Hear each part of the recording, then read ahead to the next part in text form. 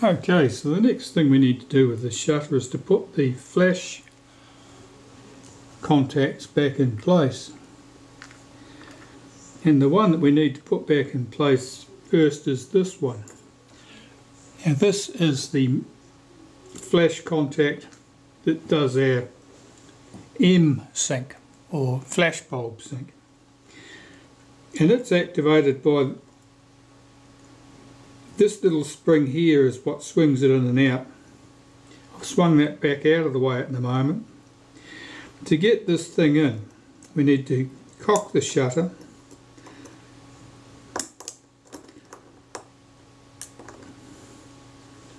I'm going to release the shutter and when first I'm going to make sure that this lever is set up in the M setting, it's up at the top of its scale here. These things, you typically you push them inwards so you can change them. So, see if I can do this because I'm back to front here.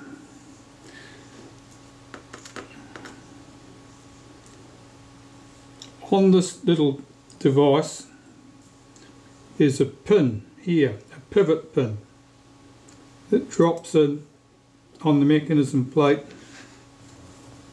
right here.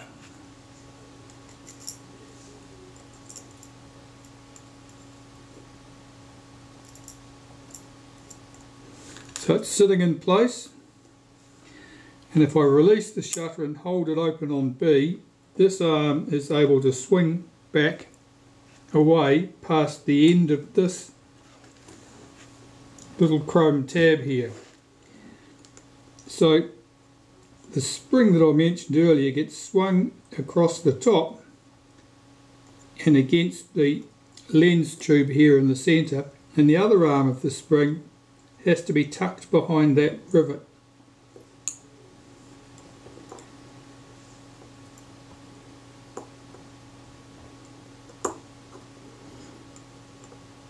So that lever is now sprung loaded.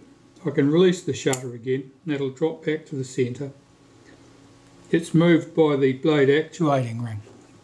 Okay, so with that, that piece in place, let's get back where we were. The next piece is this contact. This gives us our X sync and this also has a tiny rivet on the base which locates in a hole in the mechanism plate just here and it's a bit awkward to get seated but we must get it seated. The tail of this contact goes against the shutter case. That's not absolutely essential because it gets enough grounding through uh, the screw holding it down but that's the intention see if I can get this in here and get that little pin seated in the hole in the mechanism plate.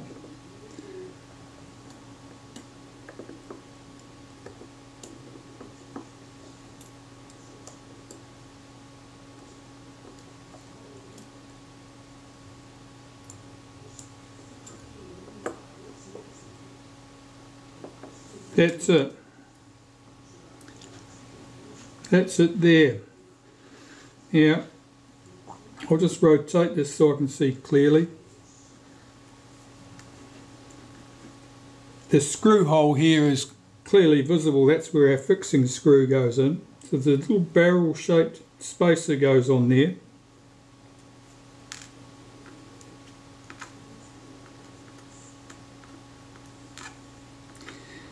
And then a small lever it actually operates the flash contact. This one here.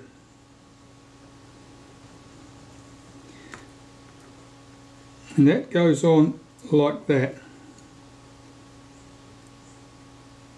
So the hole goes over the spacer that we've put there, which goes over the top of the contact, which goes over the mechanism plate. And we have a brass screw it passes through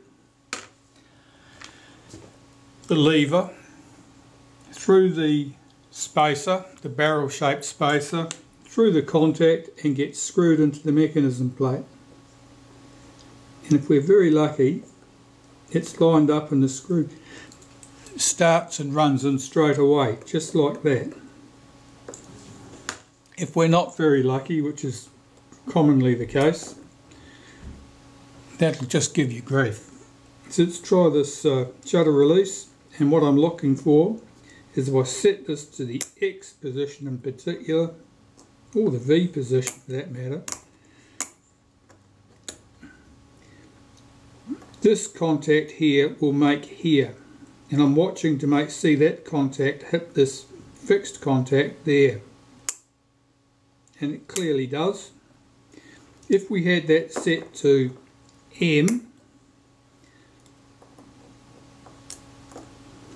this contact is freed up to move and what happens is as soon as the blade actuating ring starts to move this is freed up and this lever comes across and hits that contact.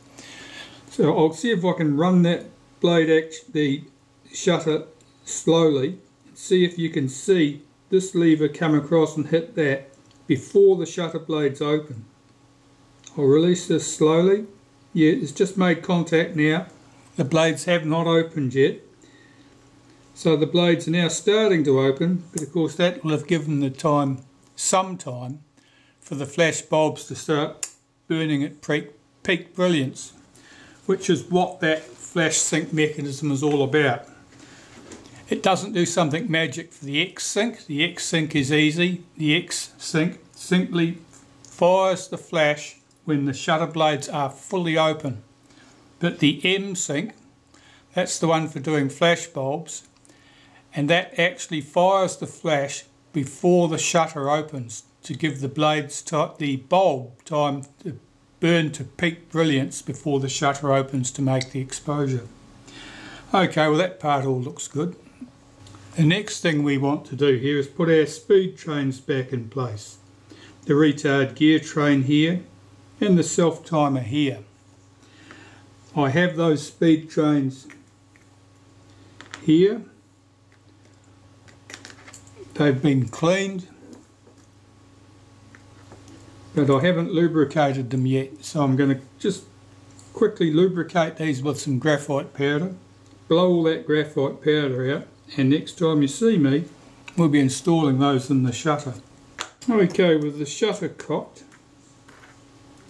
I have my retard gear train here. There are two fixing holes in the retard gear train, one here and the long post goes through there. Here the shorter screw goes through it. Let's get this swung into position. See if we can get it lined up with the fixing holes.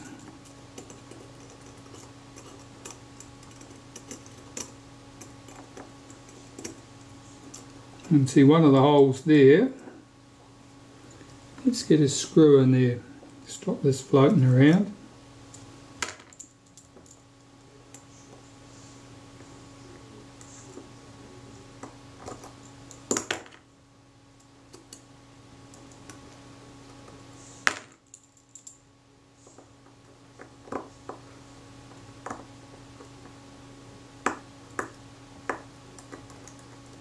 I haven't done that up tight. Make sure we've got this seated.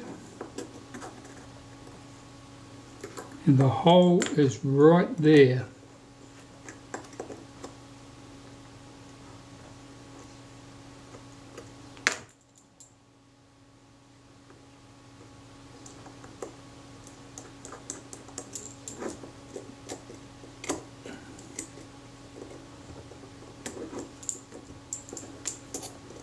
This feels like it's caught on something there. Let me slacken that screw off. And it's mate, yeah that feels better. Yeah, this arm was caught.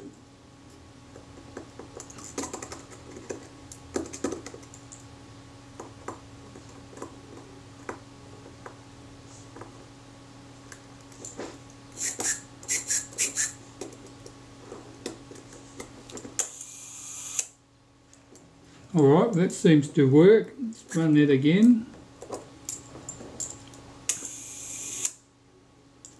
that seems good. Okay, so we got that part in. Let's cock that again. Check the screws. Check they're both tight. Check the action. Okay, that sounds credible. Right, so let's get the, I'll cock that again. Let's get the retard gear train in place. Oh, the self-timer, sorry. So make sure that you've got the button here set to the V position because otherwise you won't get this seated properly. That clears this lever here. There's a tab on here. It hits this lever here and you don't want to clamp this down on top of that. So I'll get this in position. There's a screw hole at this end. And uh, just for the sake of clarity we'll put this screw in there without anything on it. Because like get this thing lined up with that hole in the mechanism plate. There we go. That's not it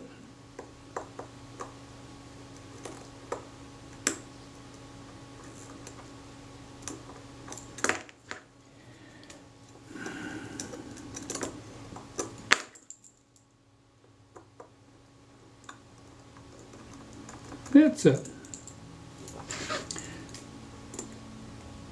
Check that this seats easily, it seems to.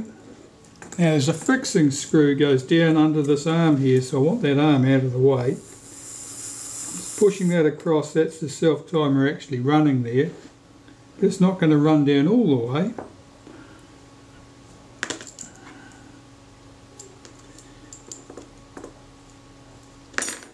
There's a little loop visible here. That's a tab that locks the self timer. If I take a pair of tweezers and hold that loop back, you can see this arm swing back out of the way. I can then move this all the way across, it'll continue to run down. And you saw it fire the shutter as it did run down. And there's the screw hole there at the base. This is the other fixing screw. Now these screws can vary a bit from shutter to shutter. If you make sure you put the screw back where it came from, you shouldn't run into too much trouble.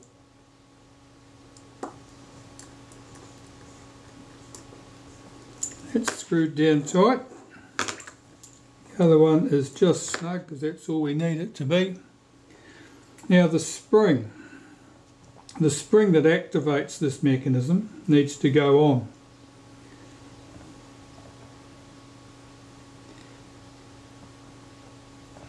Here is the spring. And you can feed it in from either end.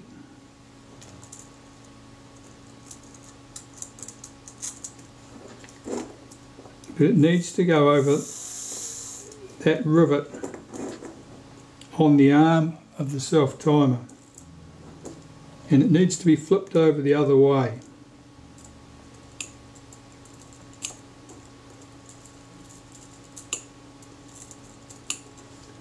And this is always various shades of awkward.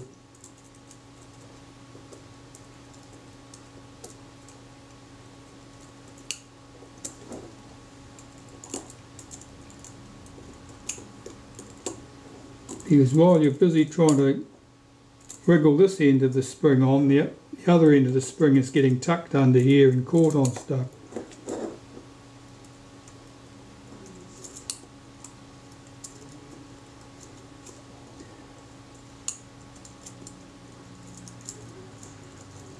And my tweezers seem to have taken it upon themselves to become as extra slippery and lack of an enthusiasm to grip anything. Okay, so I've got the loop of that spring on that stud there now.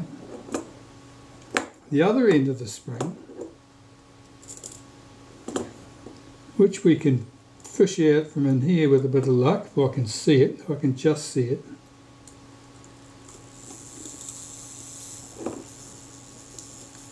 then to stretch that out. And I want to get the loop of that spring over that post.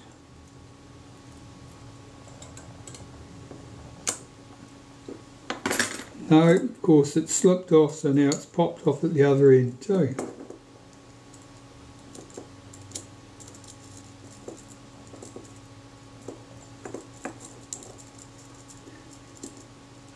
This spring in this shutter, the Prontor SBS shutter, is much the same shape as you'll see on the self-timer of a Pronto shutter, but it's a different weight of spring. This is a much finer spring. It's not as strong as the one on the Pronto shutter, doesn't need to be.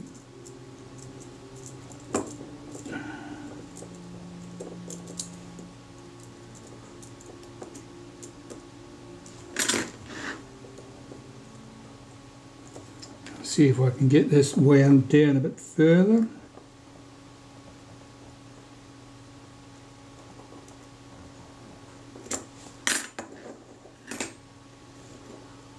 Get the end of that spring.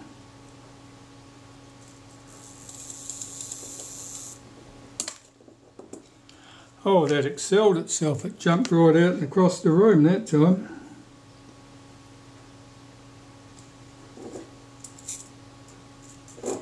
Every time you bump this thing, it will run to the end of its travel and be hard to move back again.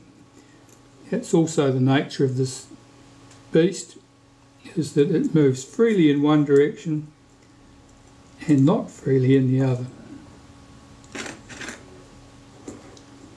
This spring is uh, not exactly in a wonderful state the loop at this end is probably slightly too open so it comes off that stud very easily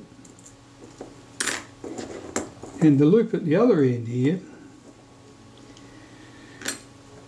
is down when I would much prefer it to be up. See if I can grab it and rotate it.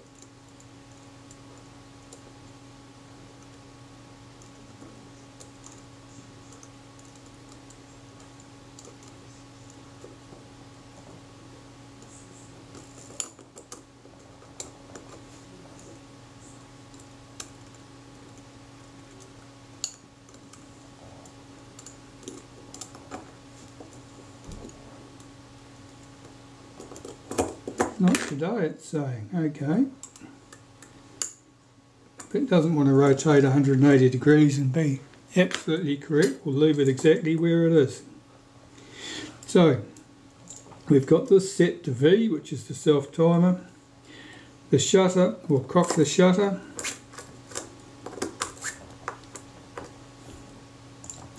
Set the self-timer, the action of setting the shutter would set the self-timer normally. Would come down to that position and when we release the shutter you should hear the self timer run down and you should see the shutter open and close. You can hear the self timer running down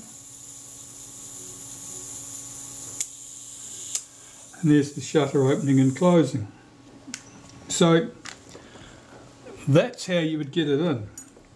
That's not the entire story but it gives you an understanding how the pieces work. This piece here on the sector gear is hooked up to that spring. Every time you cock the shutter, this gets brought and charged up. So that's actually set every time you cock the shutter. But if it's not set to self-timer, if you cock the shutter and release it, the self timer doesn't do anything because it just instantly goes, it instantly releases. It's not taking any part in releasing the shutter. It's only if you have this set to V, the self timer position, that this engages its pallets and runs slow. Alright, so that's your self timer, that's your retard gear train. To go on the self timer, we have two things we need to add to this. One is easy. This little device here, this little device simply gives us our click stops for our shutter speeds.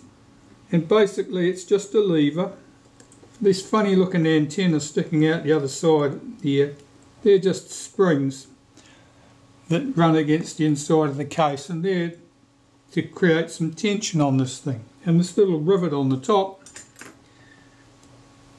runs over these click stops, these little indentations in the shutter speed setting ring. And this little device is held under this screw on the self timer. That's not a problem, we can take that out now, put that lever on there, put the screw back. It's not a fight. That's not the thing we really need to do. As I mentioned, every time you cock the shutter on one of these camp shutters, it charges the self timer. And that's done with this little lever here. This lever couples to the self timer here, pivots here, and is activated by the shutter here. As you cock this, the main cam pushes this thing which pivots on here and moves this thing.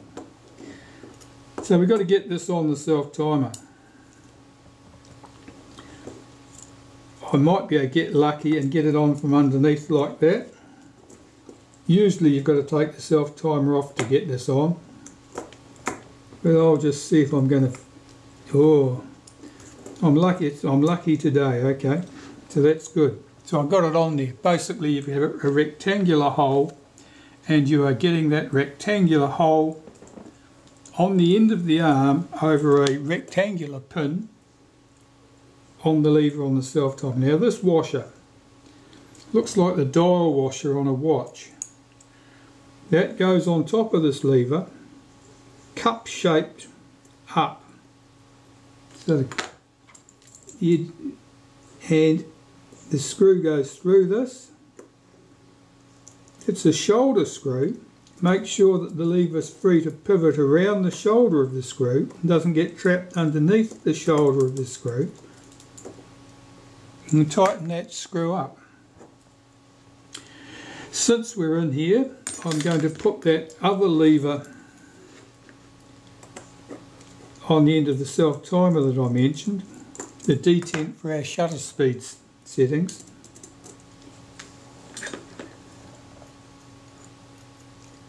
And as I said, those little springs there go against the case. Well, normally they would. In this case, they go against this little bracket here. It serves the same purpose as the case would on a uh, more traditional Prontor type shutter. So I'll get those springs tucked in, get the screw in place, As before, it's a shoulder screw. The lever must be free to pivot around the shoulder of the screw. It's quite firm, that spring tension. So don't be surprised that there's a lot of tension there, but it should move. It should move freely. At that stage, the work inside the shutter is pretty much done. The shutter speed settings cam plate can be fitted. At this stage, I'm about to close up the shutter, so I'm going to put some lubricant where I want it. Now, on this pin here, this is where it's going to run against that lever that sets the self-timer. I'll show you how that cocks that in a minute. That will do it now.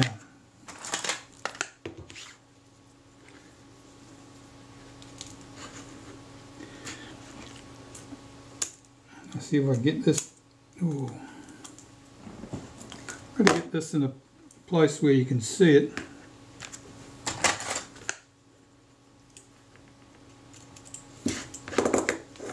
Where are we? Let's have a look. So watch this lever. Watch the way it interacts here.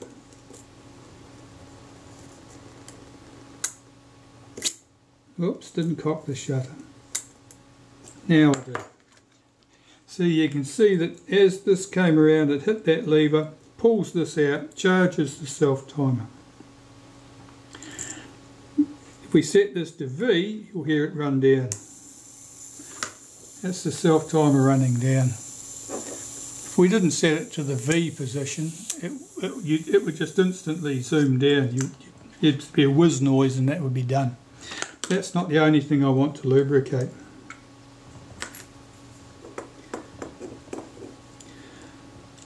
This little cam here, or this lobe on this main cam, that's where this thing runs across the catch that holds the shutter cock. So I'm just rubbing a tiny bit of molybdenum paste over that so that when the shutter's cocked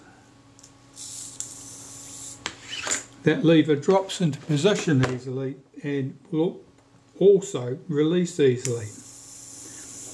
That's the self timer running down again because we left it set to the V position on uh, some other shutters you might be used to, like the Compur types, you have to set the self timer every time you want to use it.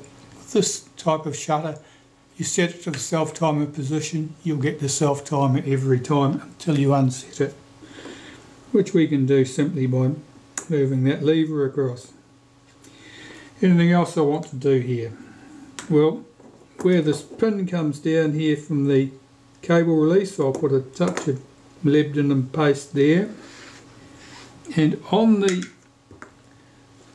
I'll set that shutter again. Let's cock that.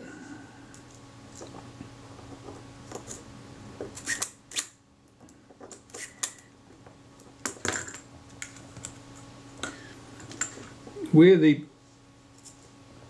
main cam here contacts this one this thing here which is our uh, retard gear train, I'll just run a bit of molybdenum paste over those points. I think that'll just about do. Here's the shutter speed settings cam plate. I'm taking my molybdenum paste and you could be using graphite grease if you had that instead. You could be using synthetic grease if you had that instead. But this works very very well. I'm not about to change my ways now. So I'm just running that oh, little wipe of the stuff over all the lobes of the cam that sets the shutter speeds, over the little detents that set the click stop for our shutter speeds, and over with this piece here where the B lever is going to run. Then I can bring my shutter back in here and fit this cam shutter speed settings cam plate in place. I'm just making sure that everything's here, that my B lever is sitting here in this groove. I can tell that my speed set uh, click stops is not working so I've got to come around and get that engaged. So I can see the, the end of it here. So got to reach in and it's a lever, it's a pivot so if I push it in on one end it'll swing out on the other. Right, that's engaged. I've now got click stops for my shutter speeds. Continuing with the closing up process. Here we have the front plate. We have a, a sawn off screw which is our lock screw for our retainer ring and there are two notches that fit over two pins which protrude through the shutter plate here and here. So if I get this around the right way, obviously the screw head has to be up. That's seated in position. That'll stay where it's put. Now, we have this piece. It's got a little semicircular notch there it fits over that uh, screw. And then we have the front retaining ring. Now it's got a step on it. The flat surface goes to the top to the outside. That step goes down. And that step engages in the centre of these dials to keep things centred.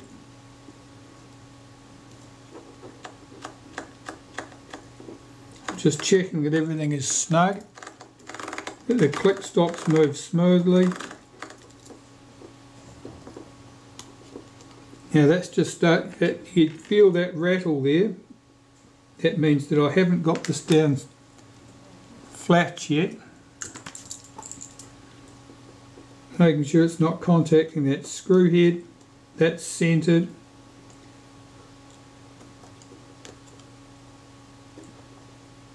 I should be using a bamboo skewer or a toothpick to do this, but sometimes the threads are too tight.